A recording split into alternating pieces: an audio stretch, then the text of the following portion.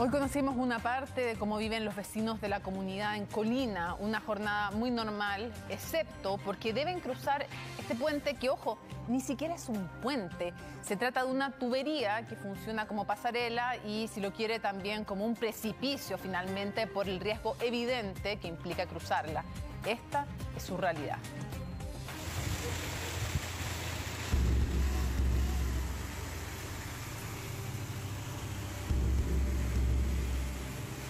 Es una pasarela, aunque lo parece, y pese a lo riesgoso, es funcional y la mejor alternativa para los vecinos del campamento Los Dominicanos y sus alrededores en la comuna de Colina.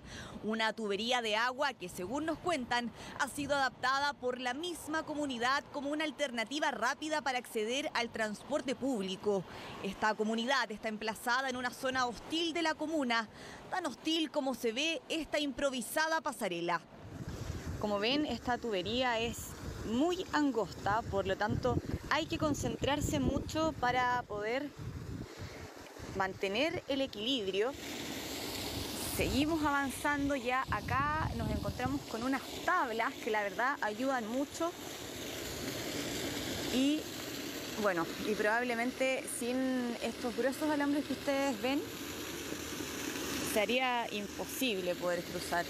Vértigo, temor inseguridad son algunas de las sensaciones que definitivamente se experimentan al cruzar esta tubería emplazada sobre el río Colina y que desde luego no cumple con ninguna condición básica de seguridad para funcionar como pasarela. Aproximadamente 10 metros de tubo que para ellos fue una gran solución de conectividad. Poder ahorrar tiempo y esfuerzo no les hace ver lo temerario de la conducta. No, es que estoy acostumbrado. ¿Usted está acostumbrado? Sí, no tengo problemas, ya estoy aclimatado. ¿Aclimatado a sí, hacerlo? Fácilmente, ¿no? Uno ya, pero como le digo en invierno, cuando con hielo, es resbaloso. El tubo, al pisar el tubo sobre todo.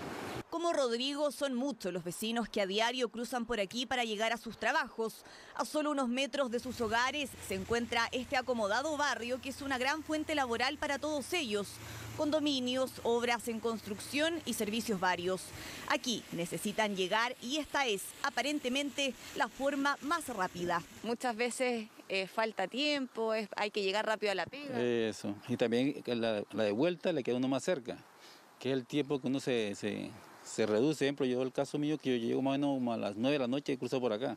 ¿y no le da susto? Sí, claro, porque es una altura más o menos como unos, unos 15 metros más o menos. Se usa, me decía usted, a diario. E, esto es como un, puente para puente, usted. sí, este es un puente. Y usted sabe que es riesgoso. Sí, sí, es riesgoso, claro. Aquí pasan también hasta con niños aseguran se encuentran desconectados de los accesos principales. El puente San Luis es la mejor opción de llegar a sus puestos de trabajo, pero no la más próxima. Este es el camino que tuvimos que recorrer para llegar a él. Dos kilómetros recorrimos exactamente desde el campamento de los dominicanos para llegar a este puente, el puente San Luis, la alternativa más cercana para todos estos vecinos de poder cruzar el río Colina y así poder acceder a locomoción el puente por el que transitan a las oportunidades, a un salario, a la movilidad social, constituye a la vez un riesgo inminente.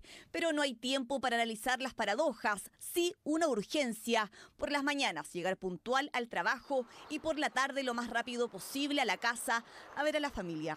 Bueno, y esto que funciona como soporte para mantener el este equilibrio es fundamental. Pasamano, Y esto lleva tiempo acá como el soporte del tubo y la misma gente lo instaló también acá, puso los palos. ¿Y, cómo lo hace, por ejemplo, cuando se encuentra con otro vecino? Porque vemos que desde allá hay alguien esperando para cruzar, tienen que compartir aquí el eh, espacio. No, no, ahí no, porque generalmente uno antes de cruzar mira. Si dos vecinos se encuentran en cada uno de los extremos, la mayoría de las veces esperan su turno para cruzar en una dinámica de amabilidad y respeto, porque claro, el entorno que los rodea y en el que deben subsistir ya es lo suficientemente adverso. Nos preocupa la situación que están viviendo las familias de Colina, al igual que nos preocupa la situación de más de 85.000 familias que viven hoy en campamentos en todo Chile.